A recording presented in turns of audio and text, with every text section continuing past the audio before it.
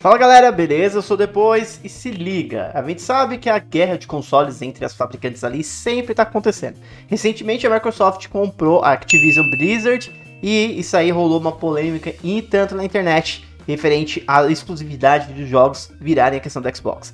E agora, hoje no dia 31 de janeiro, a Sony acabou de anunciar a compra da Bang. Para quem não conhece a Bang, posso estar pronunciando errado, é a produtora do Destiny. Então, como é que fica agora essa jogada?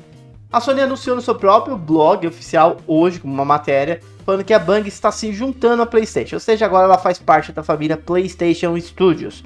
Só que, calma, para você usuário de Destiny, relaxa que você não vai ficar sem jogar no PC ou até mesmo no seu Xbox. A Sony anunciou aqui, ou pelo menos o responsável da Bang anunciou, que a plataforma vai continuar sendo multiplataforma, que vai ser um estúdio ainda independente e vai continuar disponibilizando o jogo para computador, Xbox e PlayStation. Bom, como a gente pode estar vendo aqui na matéria, já está bem claro aqui o que releva essa questão de, eu ter falado de que vai continuar sendo multiplataforma.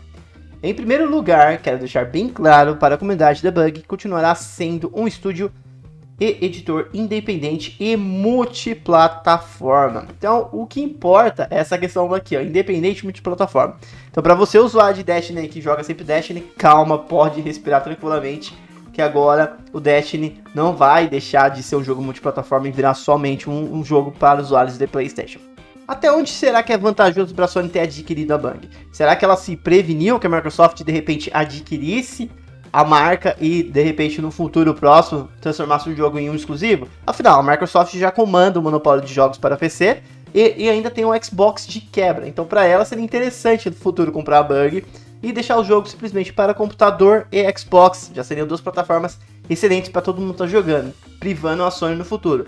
Já a Sony adquirindo a Bang já fica um pouquinho diferente, porque para ela não é vantagem limitar o jogo somente ao PlayStation, sendo que ela depende de ganhos, né? Para ela é vantagem lucro, lucro que é muito mais vantajoso do que simplesmente privar a multiplataforma do jogo. E a Bang já tem a disponibilidade de outras plataformas que já dá uma grana boa pro estúdio. Já a compra da Bang pela PlayStation foi divulgada na, num valor mais ou menos de 3,6 bilhões de dólares ou seja, quase 19 bilhões de reais aqui na nossa cotação atual.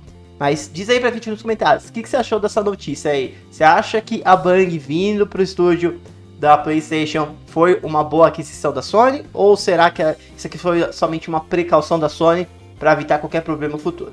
Vale lembrar que com a aquisição da Activision Blizzard pela Microsoft, a questão do code virar um exclusivo no futuro pode vir a acontecer e isso pode, de certa forma, acabar prejudicando a Sony com alguns dos seus jogadores hoje em dia. Então, eu vou ficando por aqui. Se curtiu esse vídeo, já deixa seu like aqui embaixo. Se é novo por aqui, se inscreve no canal e ativa o sino para receber notificações dos nossos próximos vídeos. Então é isso, valeu, falou e até mais.